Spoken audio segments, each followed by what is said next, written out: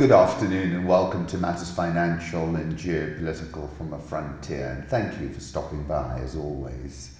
Let me start with some macro thoughts on the US China trade deal phase one.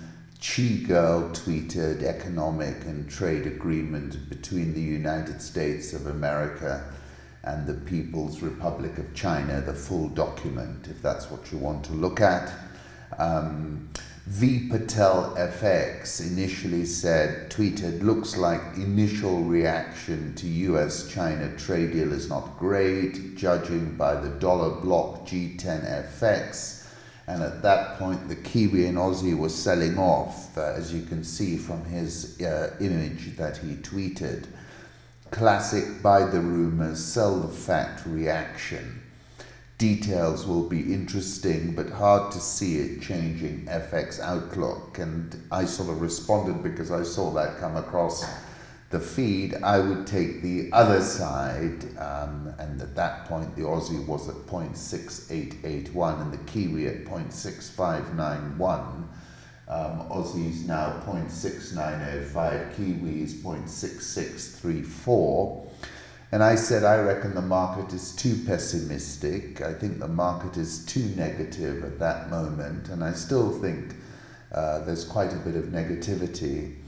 And uh, I said, this is an entente cordiale and suits both sides at this time. And I actually um, was uh, being interviewed by CCTV in Ramanyang, and it was a four way Beijing, Nairobi, London, Washington. And uh, for a whole hour, we had to listen to President Trump uh, thank everyone in the room. And both sides, I think, have too much invested in this phase one deal now. 23rd of December, I said the crossfire of a trade war now ebbing well for a few months because Trump has an election to win and Xi has an, has an economy to rescue. And uh, uh, I said I expect a detente ahead of the election, and phase one deal signals as much.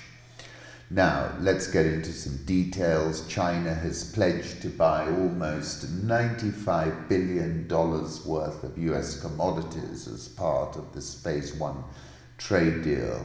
Um, the text of the pact released specifies $77.7 billion in additional Chinese purchases of manufactured goods, including aircraft, 32 billion in new purchases of agricultural projects, and 52.4 billion in energy and 37.9 billion in services in the two years through December 2021. And I think that is, you know, there's skepticism about this too, but we've had a crossfire, we've had a lot of aggressive language, and but I think this is doable in point of fact, and I think the market will come around to realizing that, and I think a lot of it will be driven by energy.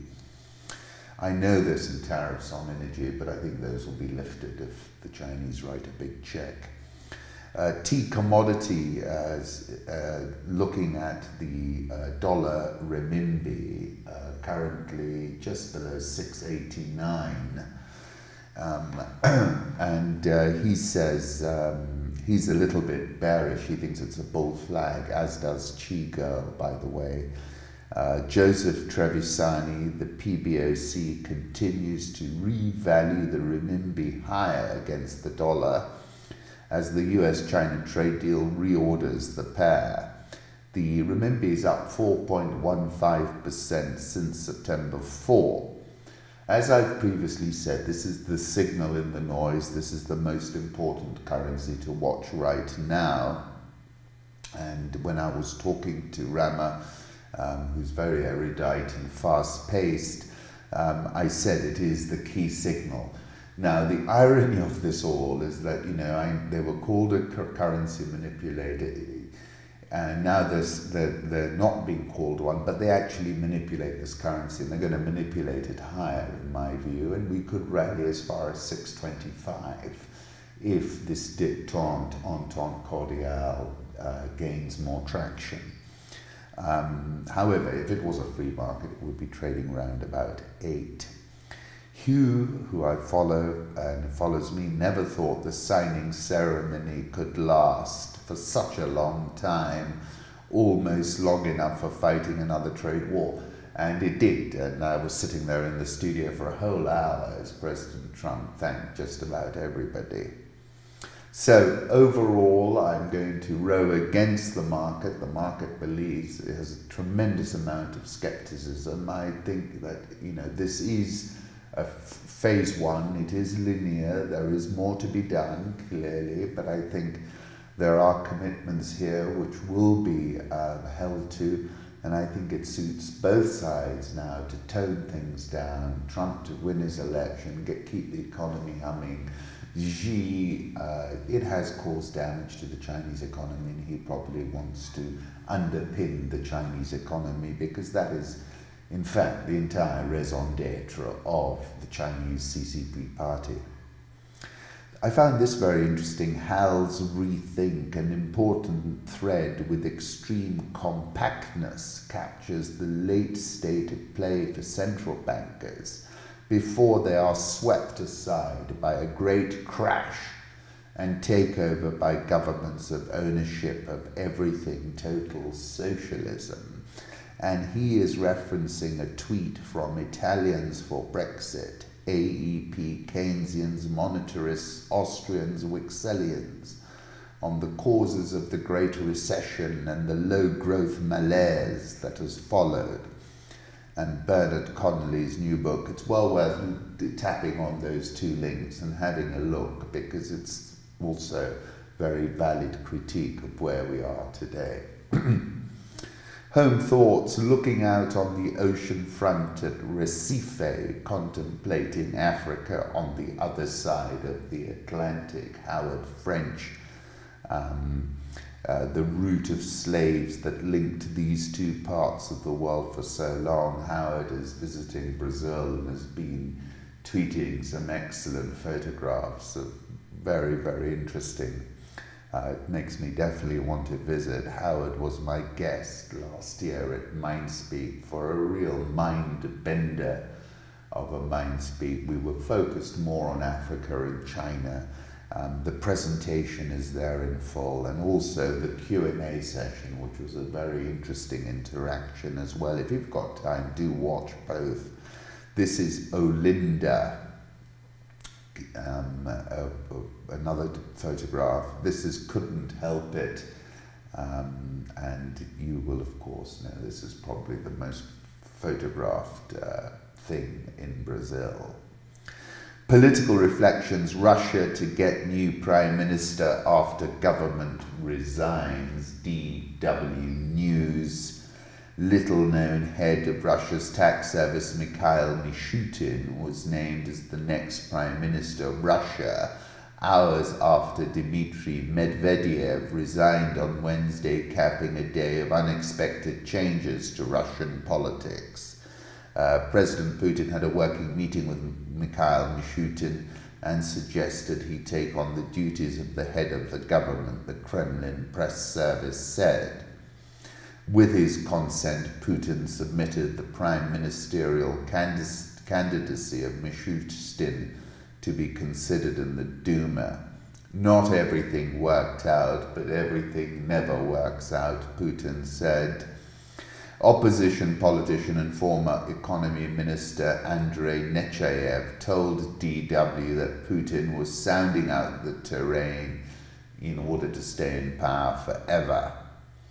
Um, uh, A. Uh, Polyakova here's Putin's opening move for staying in power past 2024, changing the constitution, which has always been the most straightforward path of least resistance.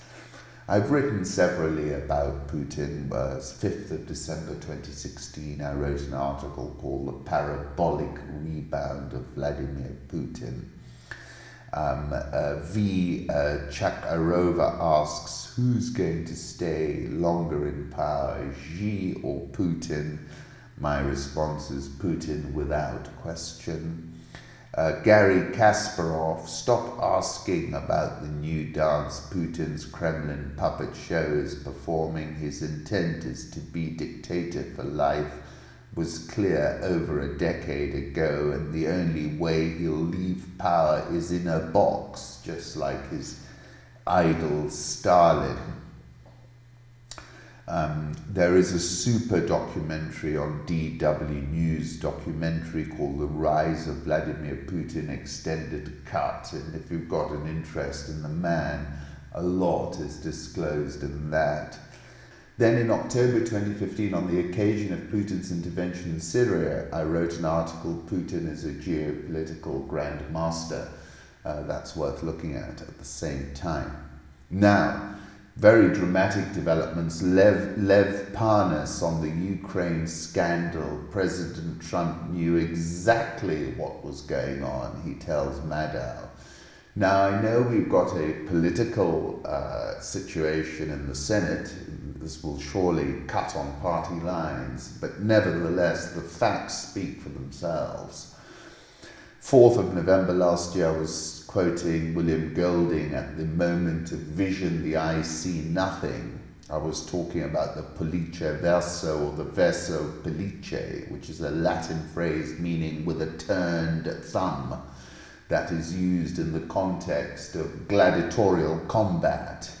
And I said the Republican Party will be making a very hard nosed political calculation and then I was predicting that, you know, Vice President Pence, who also seems to be caught up in this Lev Parnas story, um, I said he's an evangelical Christian and is the habit of praying with another evangelical Christian and Nobel Prize winner far away in Addis Ababa. Don't ask me how I know that, but I do.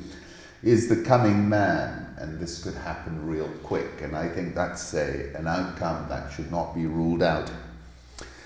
Independence is not an option, China tells Taiwan. According to the Times, Beijing set the stage for bitter confrontation with Taiwan this morning by insisting that the island would always remain part of China, despite the newly re elected president saying it was already independent. Uh, Ma Xiaoguang of China's Taiwan Affairs Office said it's a dead end for anyone who wants to do Taiwan independence. We have the firm will, sufficient confidence, and ample capabilities to thwart plots of Taiwan independence in any form. Uh, Ing-wen was returned as president on Sunday in a landslide victory. She said, We don't have a need to declare ourselves an independent state. We are an independent country already and we call ourselves the Republic of China Taiwan. Beijing insists that it must unify with Taiwan by force if necessary. Um, the local election in Taiwan does not alter the fact that Taiwan is part of China. No matter what the outcome is, our Taiwan policy remains unchanged. Um, Hu Xijin has sought to dampen the enthusiasm by arguing that Beijing is not ready to have a military showdown with Washington, which has a security pact with Taiwan. Tsai, President Tsai said invading Taiwan is something that is going to be very costly for China. Of course, President Xi has said many times on the occasion of the Communist Party turning 70, complete reunification of the motherland, he said, is an inevitable trend. No one and no force can ever stop it. Uh, he also said China reserves the right to use force against any intervention by external forces worth, if you're interested in the military side, and uh, it's worth reading an article in the Asia Times, War in the Taiwan Strait is not unthinkable. 25th of November, I was writing about Iran as I've done several times, and then in that article I said this alliance of Secretary Pompeo, the MAGA tweet army, because Twitter's blocked in Iran, Maryam Rajavi and the MEK is just not credible. I said it's incredible. We've got to add into that mix the son of the Shah, Pahlavi Reza, who was uh, at the Hudson Institute, where he said about the protests, I think the people smell an opportunity for the first time in 40 years, he says.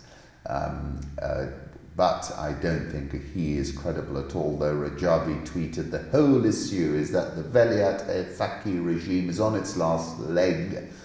This alliance of Pompeo, the MAGA tweet army, Maryam Rajavi, and the MEK. Um, of course, maximum pressure has put enormous pressure on the regime, and I'm sure um, President Trump, uh, with his decapitation strike, thought that would tip them over the edge and C.S. Dickey writing in the Daily Beast, when it comes to the art of deal making in Middle East statecraft, death is part of the bargain. At least since the days of the Crusades, assassinations have been used as negotiating tools. Trump apparently saw the decision to liquidate Iranian General Qasem Soleimani as a natural negotiating ploy. Perhaps his hawkish advisers told him without some important caveats. It's the kind of thing the Israelis had been doing for years. That would explain in part Trump's tweet on Monday that simply dismissed the debate of whether Soleimani was plotting an imminent attack on US installations or personnel. Trump continued to insist, without presenting evidence, that he believes that to have been the case with Soleimani, then added, doesn't really matter because of his horrible past. My article addressing that issue was on the 6th of January called The Assassination. Let's move on to international markets. Uh, the dollar's selling off a little bit here. Euro dollar 111.57, dollar index 97.22, Japanese yen at 110 the figure, Swiss franc 0.9679, the pound uh, 130.58 the Australian dollar 0.6915, India rupee 70.855, South Korean won 1155.87, the Rial 412.93, the Egyptian pound, which has had a storming run this year, 15.88, and the Rand at 14.3886. Dollar index, I'm expecting more weakness towards 94.50. I think the liquidity bomb that's been dropped by the Fed half a trillion dollars since September is what's going to lead us a little bit lower. Notwithstanding, on the other side, we've got huge borrowings globally in the dollar. JP Morgan about the euro dollar, still persistent sell off risk. I'm not sure I agree actually. I can see the euro rallying a bit here up to 114.50. We're currently at 111.58. Gold, um, as I wrote over the weekend, I think conditions are supportive for gold this year. We're at 1555.70. Um, high this year, 1600 on that spike. Um, but uh, for now, I think we'll stay around here. Crude oil, I'm bullish. I know a lot of folks are, are bearish on this. I think we're at the channel lows. I think we're overdue a bounce. I think China is going to use this opportunity to cut a side deal with Trump and say, look, we'll take a whole lot on, just remove the tariffs, and that will be done. Um, so we're currently at $58.38. I can see us getting back to 60.50 without much trouble. Tullow Oil is to book a $1.5 billion write down on the oil price outlook and reserves. Um, they've written down after cutting long term oil price assumptions by $10 to $65 a barrel. Reduction in oil price assumptions brings Tullow more in line with peers' expectations Tullow said the write-offs include Jethro, Joe, Carapa well costs in Guyana as a result of drilling results, and Kenya Block 12A, Mauritania C3PE, L7, Namibia and Jamaica license costs due to the levels of planned future activity or license exits. Listen to this, a final investment decision for Kenya is still penciled in for the end of this year, but that target is challenging. COO Mark McFarland said. Tullow oil is down 74.4% uh, yet over 12 months. It's really crashed and burned. And they've also announced stopping trucking the oil from Turkana, which was always a PR gimmick anyway. Emerging markets, Brazilian indigenous tribes began a four day gathering in the Amazon to plan their resistance to President Jair Bolsonaro's push to open their reservations to commercial mining and agriculture. The bulk of EM has failed to outgrow advanced economies since 2013. Examples are Mexico and South Africa, where 2019 growth is zero. This is Robin Brooks IIF. Weak growth rates uh, raise risk of short termism and policy mistakes. You can say that again.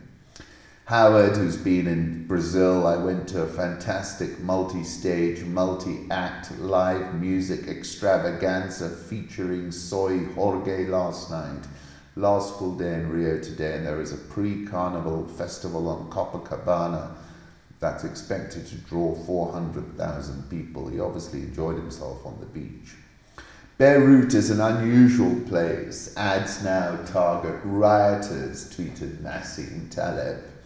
And that took me back to uh, some of the photographs that came out of Beirut, the very electro funk, um, techno music that was associated with that revolution. And of course, you know that song that I really liked from Ronnie Saikali.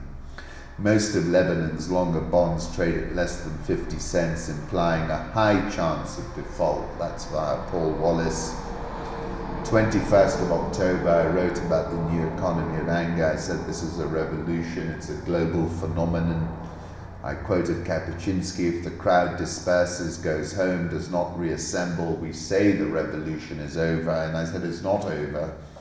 More and more people are gathering in the streets.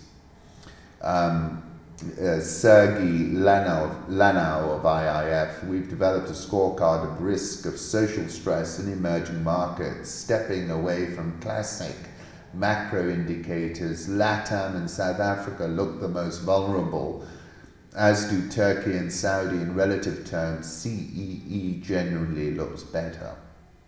Sub Saharan Africa, the Royal Museum for Central Africa, one of the largest museums anywhere devoted exclusively to Africa. It is thousands of miles from the continent itself, the tall windows, pillared facade, rooftop balustrade, 90 foot high rotunda of the main building give it the look of a chateau.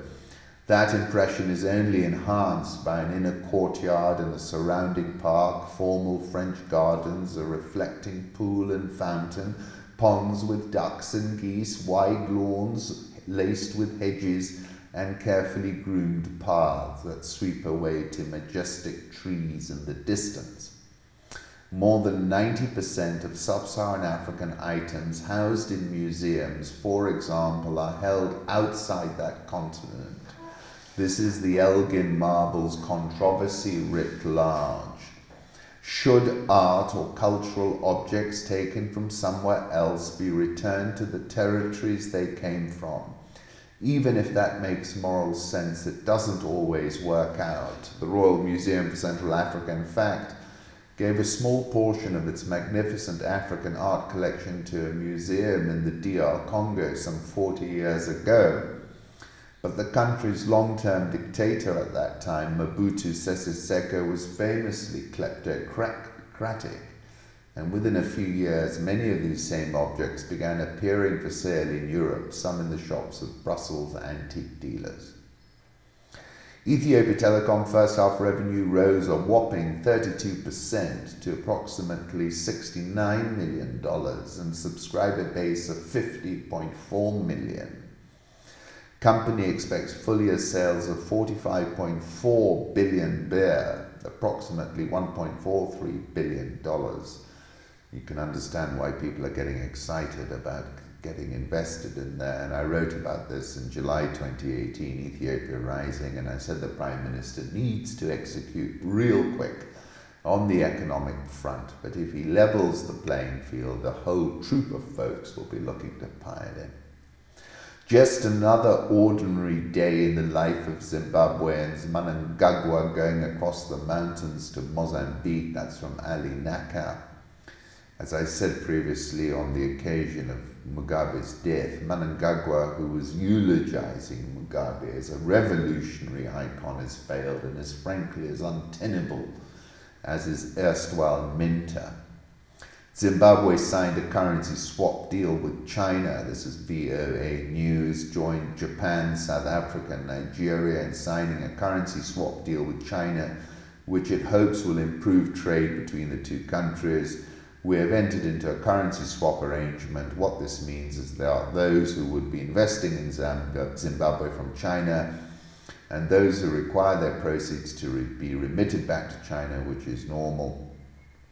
Hawkins says Harare must address its economic crisis and stop fiddling around the edges of the problem rather than tackling the problem. He's correct. I take you back to Yuval Harari. Money is the most universal and most efficient system of mutual trust ever devised. Cowrie shells and dollars, which is what the Zimbabwean currency is, have only value in our common imagination. Their worth is not inherent in the chemical structure of the shells and paper, or their color, or their shape. In other words, money isn't a material reality, it's a psychological construct. It works by converting matter into mind. And what I'm saying is it's not able to do that in Zimbabwe. A pau pour parler du Sahel des doyens West African agace par le petit frère Macron, says Le Monde. Um, and I take you back to Salif Keita, who released a video on Facebook telling President Ibrahim Boubacar Keita to stop subjecting yourself to little Emmanuel Macron. He's just a kid. Um, Mozambique's Nyusi starts anew as terror threatens LNG boom. Sworn in for a second term Wednesday, three months after his landslide victory. Peace is our absolute priority. We will defend peace even if it costs our lives, he said. Mozambique is on the cusp of a massive natural gas led boom. We asked our compatriots for some patience in managing expectations because the state coffers will take some time to reap gas dividends, Nyusi said. We want to prove that energy resources can be a blessing and not a curse. He's facing an insurgency where 850 people have died since the first attacks in October 2017, and where Putin's buddy has had to go and rethink things as well after taking a beating. Corruption, that's the tuna bond scandal. Um, uh, he signed a peace accord with Renamo and then not to be discounted as climate change. I mean, they've had consecutive tropical cyclones, um, and the world's sixth poorest countries among the most vulnerable to climate change. 4th of June 2012, I wrote an article, Maputo Boomtown. Then I went to the Africa Rising Conference. Then we had went from boom to bust, and now we're going to boom again.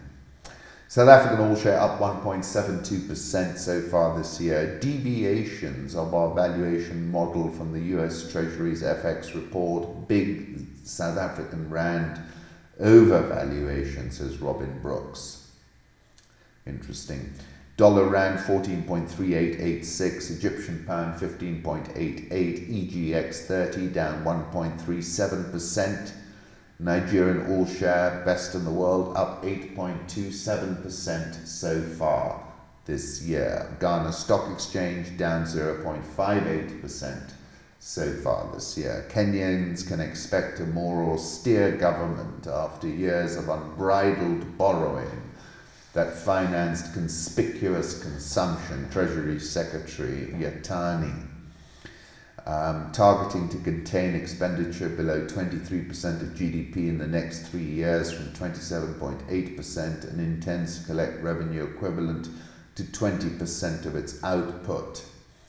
Uh, days of conspicuous consumption are long gone. We're going to cut our cloth according to our size. He's talking the talk, he's got to walk it now. Yatani was confirmed as head of Treasury. Um, future budgets will not automatically increase from the previous years, and Treasury will critically review every financing need. Uh, soon to publish the debt strategy. Government is not only paying attention to the development of debt levels, but keenly examining the size and nature of public debt with a view to considering debt reprofiling. cut growth from 6.1% to 5.6. I think it's more likely to be 3.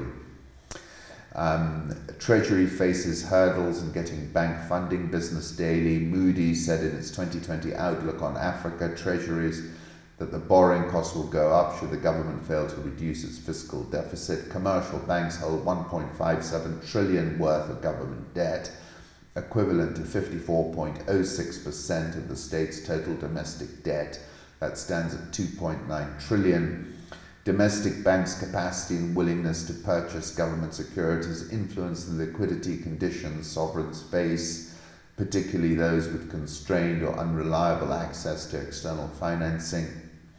Current fiscal year, Kenya's fiscal deficit stands at 640.2 billion, looking for a total of 305.7 billion in domestic borrowing ICEA Lion said in its outlook they anticipate yields on government securities will go up by between 100 and 150 basis points this year. Since the repeal of the rate cap, interest rates on treasury bills and treasury bonds have risen by almost one percentage point in some instances, said the firm's head of research. I wrote about this on the 23rd of December. I said Kenyan lenders are the second most exposed to the government, with almost 300% of their equity lent out to the government. What this tells me is that an important source of buy side demand for the government of Kenya shilling paper is now limit long. If you're sitting on the credit committee of a Kenyan bank and exercising some degree of oversight, I would argue that then you would be demanding a hard cap Therefore, given the fact that GOK issuance is not going to slow down but will probably accelerate, I would be keeping a close eye on the curve. Staying Ahead of the Curve was a remarkable book by the renowned investor George Soros. It's worth reading. I'm expecting a parallel shift higher, a little bit like ICEA Lion. Private sector growth accelerated 7.3% in November uh, Nairobi All Shares up 0.58%, NSE 20 is up 0.66% year to date. And with that, I take my leave. Thank you.